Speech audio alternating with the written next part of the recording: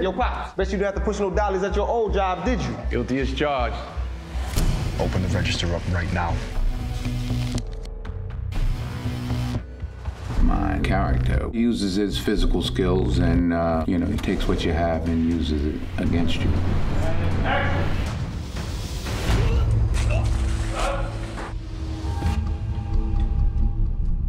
I'm offering you a chance to do the right thing.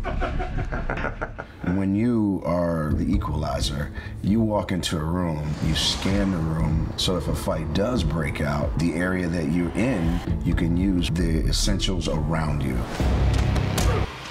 Like a knife, a glass or cup, or a book.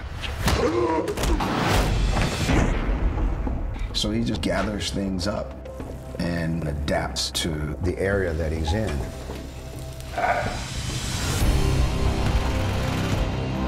The for an audience is that although he's outnumbered, outgunned, he's not outsmarted. He has to think on his toes and he's got to deliver some pretty harsh blows. How is he going to do it? And that's the fun of using the environment. Got enough? Because I can keep going. From nails to saws to paint to whatever. Everything's a weapon. He's on his home turf. He knows where everything is in the store. And with the experience that he has, you know what you can use to make a little semi bomb.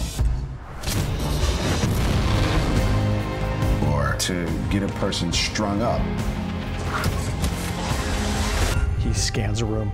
In two seconds, he'll know exactly what's to your left, what's to your right, and he will use any of those things to stop you in your tracks. I'll never look at a hardware store the same way again. Who are you? Everybody wants to know.